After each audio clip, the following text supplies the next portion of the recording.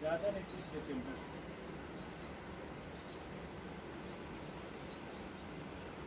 सामान थोड़ा आइए पास में, सामान जो रखा है उसको फोकस करिए।